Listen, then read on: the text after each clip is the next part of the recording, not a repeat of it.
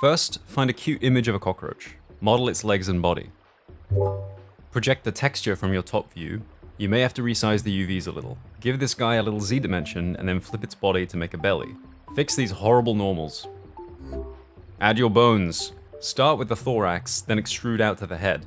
Duplicate the head, and then you can use that to start the legs. Parent the bones to the mesh with automatic weights. You may have to fix a couple of the weights. It doesn't have to be perfect, we just don't want the legs affecting that sweet bod.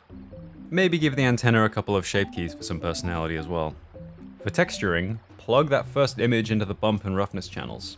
Use a color ramp to adjust the intensity. Now I know about roaches, and I want him looking wet and crunchy.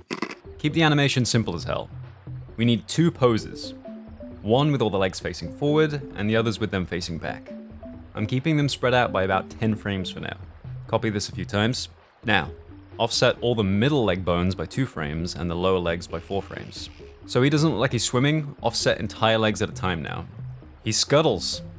It's a bit slow, so scale all these animation keyframes to about 0.25. There he goes. Make him run across the screen in any direction you want. Add in a floor texture, some lights, and a camera, and now you've got a new friend.